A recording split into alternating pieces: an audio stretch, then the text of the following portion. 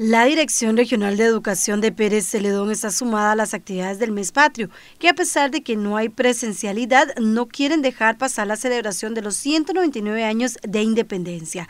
Como parte de las acciones, se decoraron todos los centros educativos y por medio de imágenes en la página en Facebook de la dirección se muestran. Nosotros, por lo menos a nivel de la Comisión Cívica, teníamos organizado este, o hemos organizado ya varias actividades, la Comisión Cívica de la Dirección Regional, eh, estaba o, organizó videos en donde hemos decorado todas las instituciones de la dirección regional de una forma sencilla, porque la idea también en este momento es llamar a la sobriedad, a no hacer mucho despilfarro en este tipo de, de cosas, sino a celebrarlo como debe ser.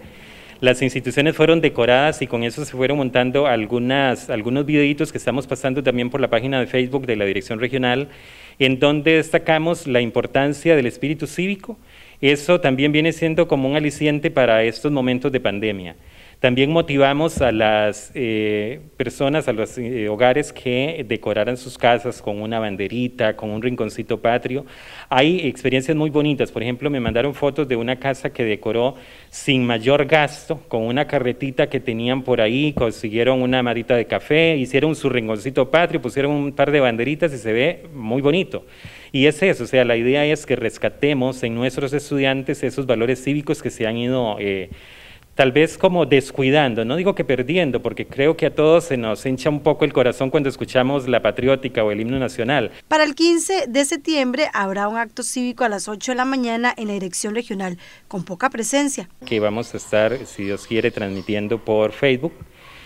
Eh, la idea es hacer algo... Eh, lo, mejor posible, pero cumpliendo con todos los protocolos que establece el Ministerio de Salud y ahora con los últimos oficios que nos han mandado también del Ministerio de Educación Pública. De momento, para el 15 es solamente el acto cívico, no, no podemos eh, hacer ningún tipo de, actividad, por ejemplo, como acostumbraba, desfile ni nada de eso. Entonces, la idea es eh, tener solamente un acto cívico sencillo, simbólico, que es un acto muy solemne para conmemorar la, la, independencia solamente. Este día también se hablará tras la declaratoria del 12 de marzo como Día de Interés Histórico y Cultural para el Cantón de Pérez Celedón, aprobado por el Consejo Municipal.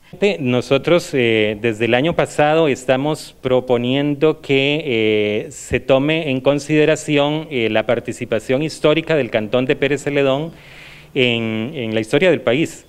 Una de las cosas importantes es el 12 de marzo, que eh, eh, aquí en, Pérez Celedón se da eh, una, un hecho bélico, que realmente la idea nuestra no es festejar el hecho bélico, sino conmemorar esa, esa fecha, porque realmente no es celebrar, en ese momento hubo muchos muertos, muchos, muchos ticos que dieron la vida por un proceso democrático, eh, sin embargo, nosotros no lo estamos celebrando, sino conmemorando una fecha que es histórica, porque hay un gran aporte a nivel histórico y cultural, no solamente para el Cantón de Pérez Celedón, sino también para el país. Cada centro educativo se está organizando para celebrar este mes patrio.